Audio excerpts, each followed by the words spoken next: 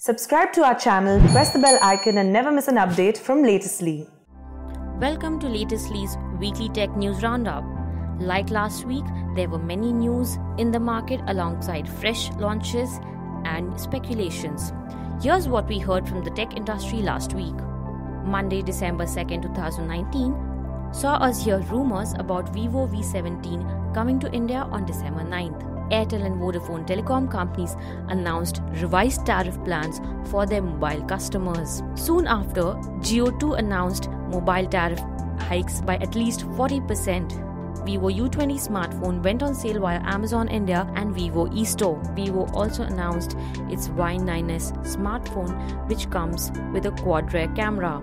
Tuesday, December 3, 2019, saw LG officially patent its outward foldable smartphone like Huawei Mate X. Huawei Watch GT2 with Kirin A1 chipset is coming to India on December 5th. We also heard that Realme could launch 5G smartphones in China from 2020 onwards.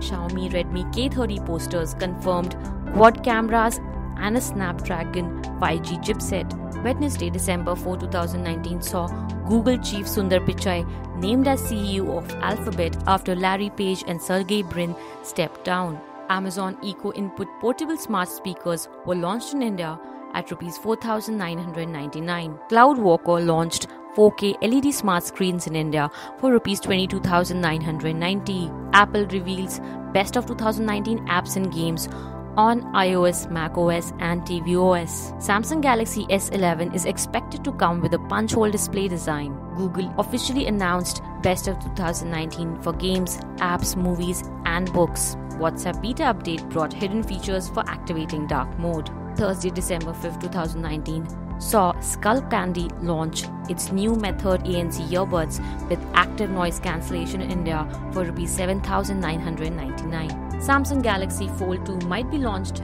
at MWC 2020 and is expected to be priced around 1000 US dollars. Apple might launch four iPhones next year with 5G connectivity. Reliance Jio announced new all-in-one plans in India.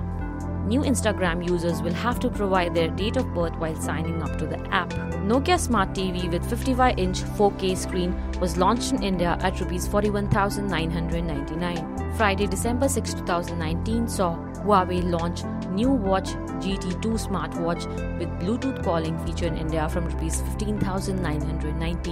Samsung's Galaxy S11 might feature Qualcomm's 3D Sonic Max fingerprint sensor.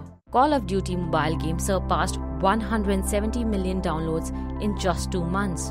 We also heard new Apple iPhones might feature Qualcomm's ultrasonic fingerprint sensor.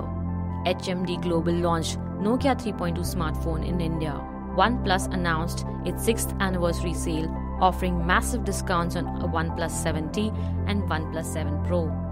Saturday, December 7, 2019, brought news that Apple could launch iPhone without any ports by 2021. Apple confirms MacBook Pro's popping sound issue would be fixed soon. WhatsApp officially introduced new call waiting feature to WhatsApp Messenger.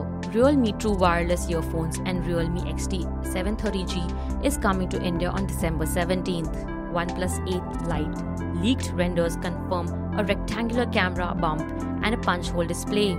Sunday, December 8, 2019, Apple's new Mac Pro and Pro Display XDR will be available for sale from December 10th. Samsung Galaxy Note 10 Lite, Galaxy S10 Lite is coming next month.